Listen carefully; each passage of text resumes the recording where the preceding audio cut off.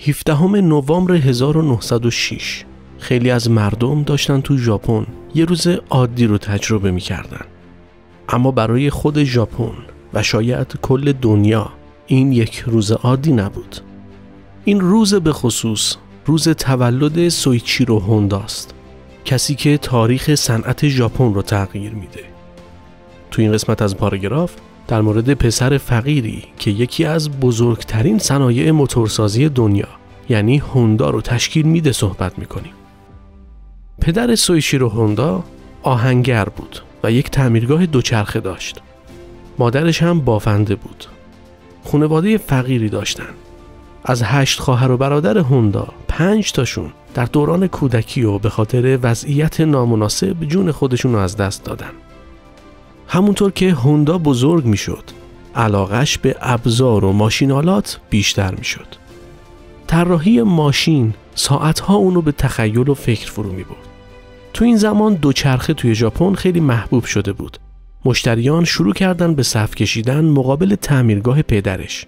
هوندا هم زمان زیادی رو صرف تماشای کار پدرش کرد. بعد هم خودش تمرین کرد و تعمیرات دوچرخه رو یاد گرفت. بعدا یاد گرفت که چطور اسباب بازی هایی که می‌خواد رو از ابزارهایی که اطرافش هست بسازه. به تعمیرکاری علاقه داشت و البته از مدرسه و درس خوندن بیزار بود. نمراتش خیلی بد بود. اون زمان توی ژاپن بچه های مدرسه باید نمراتشون رو میبردن پیش پدر و مادرشون.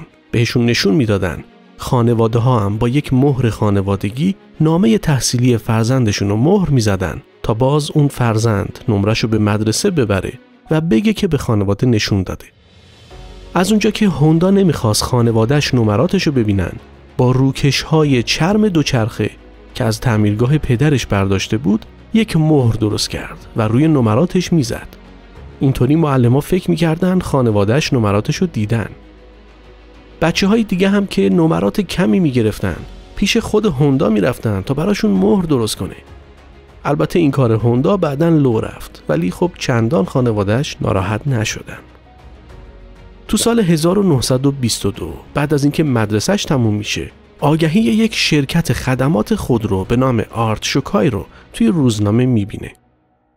تو این آگهی اومده بود که به دنبال یک دستیار واسه تعمیرگاه خودرو توی توکیو. هوندا فکر کرد شاید اونا یک کارآموز نوجوان رو قبول کنن و اجازه بدن این هوندای 16 ساله بیاد و آیندهش اونجا بسازه. به خاطر همین وسایلش رو جمع کرد و به توکیو رفت.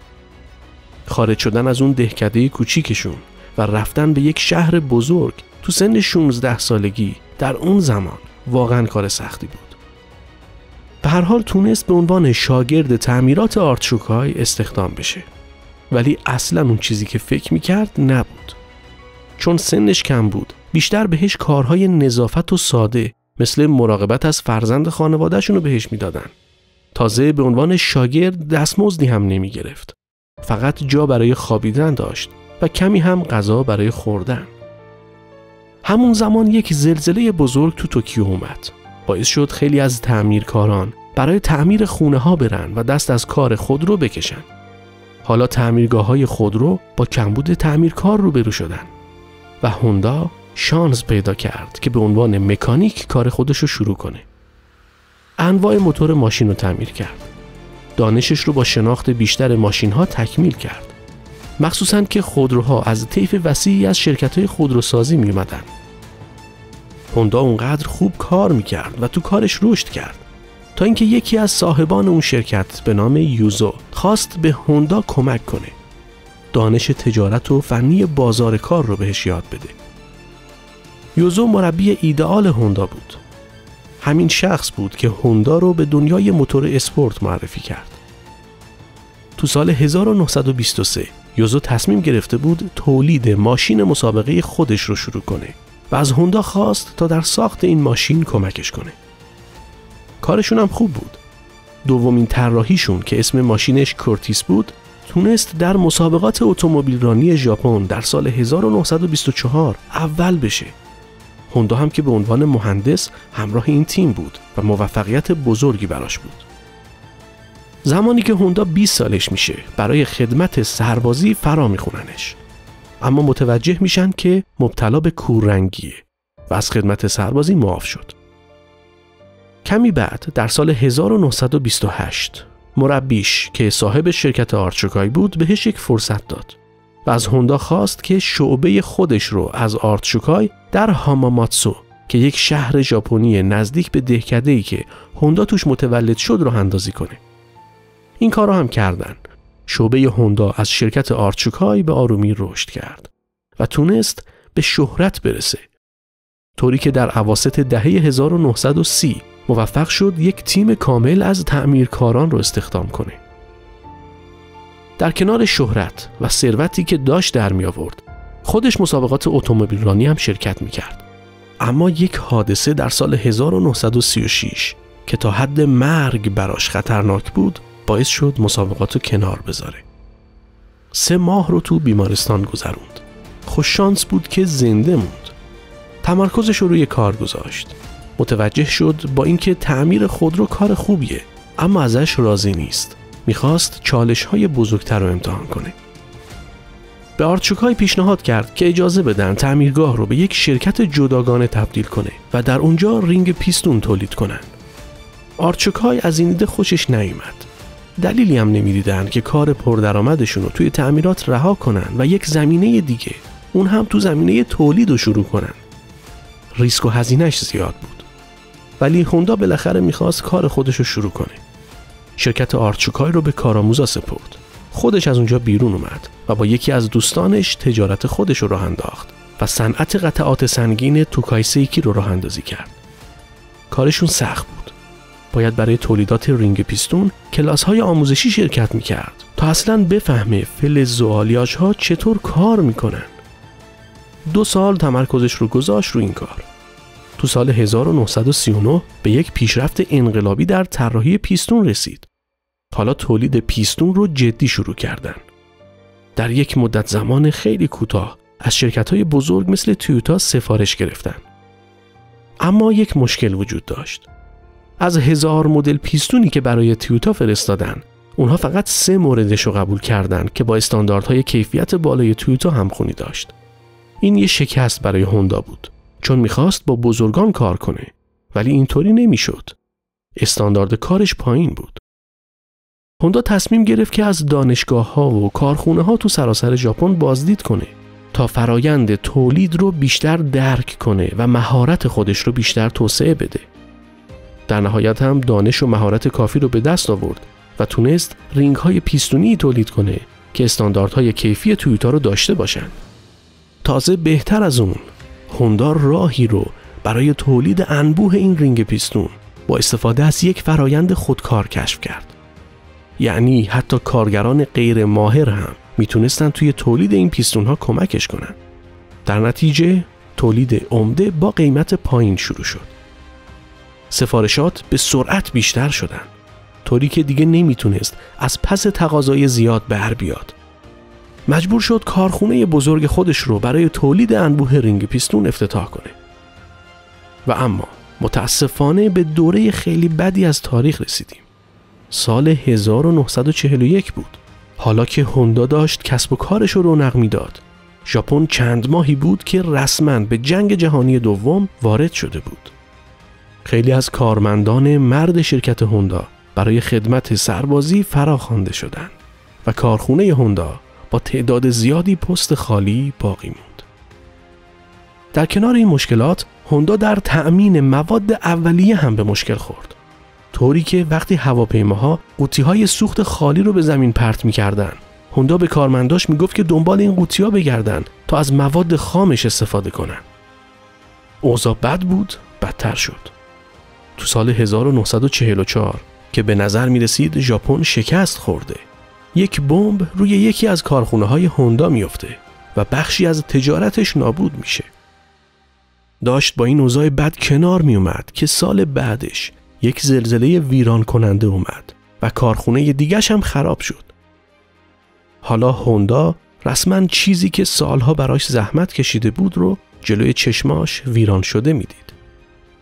دیگه هوندا که داشت نابود می‌شد هر چی که باقی مونده بود رو به شرکت تویوتا فروخت. حالا بعد از جنگ بود. یک کمبود شدید سوخت وجود داشت و حمل و نقل هم بیشتر به دوچرخه محدود شد. چون مردم برای رفت و آمد نیاز به راهی آسون و ارزون داشتن. مصرف سوخت هزینش خیلی زیاد بود. هوندا یک ایده داشت. یه موتور کوچیک رو به دوچرخش وصل کرد و با اون حرکت می‌کرد. مردم تو کل شهر متوجه این کار هوندا شدن. هوندا هم فکر کرد احتمالا این کارش یک راه حل خوب برای مشکلات کشورشه. اومد و مؤسسه تحقیقات فنی هوندا رو تو سال 1946 تأسیس کرد. این مؤسسه رو با پولی که از فروش کسب و کار تولید رینگ پیستونش باقی مونده بود ایجاد کرد. تنها هدفش هم از این کار کشف بهترین راه برای سوخت موتورسیکلت بود. با استفاده از موتورهای نظامی مازادی که هوندا به دست آورده بود تونست با موفقیت موتورسیکلت هایی بسازه که فورا تو ژاپن به یک موفقیت تبدیل شدن. خیلی سریع سفارشات شروع شد و موتورهاش تموم شد. توسعه موتور رو گسترش داد. حالا هوندا برای اینکه بتونه موتورسیکلت های کافی رو برای تأمین تقاضاش تولید کنه به پول بیشتری نیاز داشت. نیاز به یک سرمایه گذاری در تولید داشت. اما الان بعد از جنگ بود. شرایط اقتصادی کشور به شدت بد بود. سرمایه گذاری اصلا در دسترس نبود. ولی هوندا مثل همیشه راه خودش رو پیدا کرد. به هجده هزار صاحب دوچرخه فروشی تو کل کشور نامه نوشت و ایدش رو توضیح داد و ازشون خواست که روی طراحی جدید موتورسیکلتش سرمایه گذاری کنن. از این هجده هزار نفر سه هزار نفرشون به هوندا نامه نوشتن و گفتن حاضرن سرمایه گذاری کنن. بنابراین هوندا دوباره به تجارت برگشت. شرکت هوندا موتورز در سال 1948 برای تولید موتورسیکلت های با ظرفیت کم و با هدف تولید موتورسیکلت مقرون به صرفه تأسیس شد طوری که به مردم ژاپن کمک کنه تا راحت تر رفت و آمد کنند. هوندا با یک شریک تجاریش به نام تاکیو فوجیساوا همکاری کرد که نه تنها یک سرمایه گذاری اضافی برای شرکت فراهم می کرد بلکه یک استراتژیست عالی بود و به هوندا اجازه می‌داد که زمان بیشتری رو بتونه به تجارت اختصاص بده. اولین موتورسیکلت هوندا D-Type بود که مخفف Dream Type می‌شد یعنی مدل رویایی. البته این موتور بیش از حد حجیم و سنگین بود. هوندا هم خیلی سریع با یک مدل جدید و بهبود یافته به نام Super Cub که سبکتر و کوچکتر بود جایگزین کرد و به موفقیت بیشتری رسید. حالا از تمام کشور سفارش داشت. اما هوندا تمرکزش فقط ژاپن نبود. می‌خواست وارد بازار ایالات متحده بشه. با تبلیغات مختلف تونست بازار اونجا رو به دست بگیره. طوری که از هر دو موتورسیکلت فروخته شده در دهه 60 میلادی تو آمریکا یکیش مال هوندا بود. خیلی زود موتورسیکلت های سبک وزن کوچیک در سراسر جاده های آمریکا هموار شدند. تو پایان دهه 1960 هوندا با تولید حدود یک میلیون موتور در ماه به بزرگترین شرکت موتورسیکلت سازی در جهان تبدیل شد. و البته هنوزم هوندا بزرگترین تولید کننده موتورسیکلت جهانه. هوندا همیشه ریسک پذیر بود. فکر کرد از وسیله نقلیه با دو چرخ باید به تولید ماشین چهارچرخ هم روی بیاره. اولین خودروی چهارچرخی که تولید کرد یک کامیونت تی 360 بود که تو سال 1963 به فروش رفت. اما محبوب نبود و البته که بازار رو هم به دست نگرفت و فروشی هم نداشت و خب این براش شکست بود. هوندا هم می‌دونست که یک شکست چقدر براش ارزشمنده و با تغییر روی کرد می‌تونه دوباره موفق بشه. حالا اوایل دهه هفتاد میلادی بود یک جنبش محیط زیستی شکل گرفت و برای آلودگی هوا می‌خواستند خودروها متوقف بشن و قوانین سختگیرانه وضع بشه. همه خودروسازان بزرگ به هم ریختن. از دولت می‌خواستند که تجدید نظر کنه. می‌گفتند قوانین جدید خیلی سختگیرانه است و غیر ممکنه. اما هوندا یک شعار داشت. می‌گفت من راهی رو پیدا می‌کنم. به جای اینکه با این قوانین مخالفت کنه سعی کرد یک موتور انقلابی جدید بسازه طوری که آلودگی نداشته باشه. این نوعی موتور احتراق جدید بود که با محیط زیست سازگارتر بود. به مردم هم این امکان رو می‌داد که با سوخت کمتر بیشتر سفر کنند. حالا بازار خودروی آمریکا که در حال لابی کردن برای لغو مقررات بودند. هوندا رو می‌دیدن که داره اقدامات اولیه رو برای به دست گرفتن بازار انجام میده. اون زمان هوندا می‌گفت وقتی کنگره آمریکا استانداردهای آلایندگی جدید رو تصویب کنه ما تو شرکتمون 50 تا مهندس استخدام می‌کنیم. جنرال موتورز 50 تا وکیل استخدام می‌کنه تا به این طرح شکایت کنه. تو سال 1972 شرکت هوندا هوندا سیویک رو معرفی کرد که اولین خودرویی بود که از این موتور جدید استفاده می کرد. این خودروی سواری کم مصرف، جمع و جور و سبک وزن یک پاسخ به بحران نفتی سال 1973 بود که قیمت بنزین خیلی بالا بود. اساسا این خودرو در زمان عالی عرضه شد و هوندا سیویک خیلی سریع به یکی از محبوب ترین خودروهای جهان تبدیل شد. وقتی که فروش هوندا سیویک از یک میلیون گذشت، هوندا موتورز آکورد رو معرفی کرد. این یه مدل لوکستر برای رانندگان طبقه متوسط بود که بتونن با یک قیمت کمتر طراحی و ترکیب بهتری رو تجربه کنن. حالا هوندا خودش رو به عنوان یکی از خودروسازان پیش رو معرفی کرده بود. آکورد معروف شده بود. بنابراین در پایان دهه 1980 هوندا که فروش ماشینش زیاد شده بود به سومین شرکت بزرگ خودروسازی جهان تبدیل شد.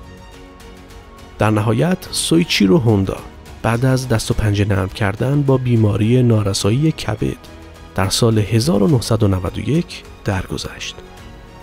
بعد از مرگش دارایی خالصش 92 میلیون دلار برآورد شد.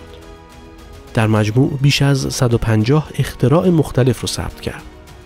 سه پسر داشت اما هیچ کدوم شرکت هوندا رو به ارث نبردن چون هوندا به شایسته سالاری معتقد بود و پارتی بازی و فامیل بازی تو کارش نبود. تا به امروز هوندا موتورز یکی از پیشروترین تولید کنندگان خودرو تو جهانه و به تولید انواع محصولات جدید از جت گرفته تا ربات ادامه داده. این بود داستان نابغه ای که به دنبال مسیری رفت که بهش علاقه داشت و البته از هر شکست ناامید نشد و فقط روی کردش رو تغییر داد. هوندا فهمیده بود که اگر یک محصول برتر بسازه مردم اونو می‌خرن. امیدوارم از تماشای این ویدیو لذت برده باشید.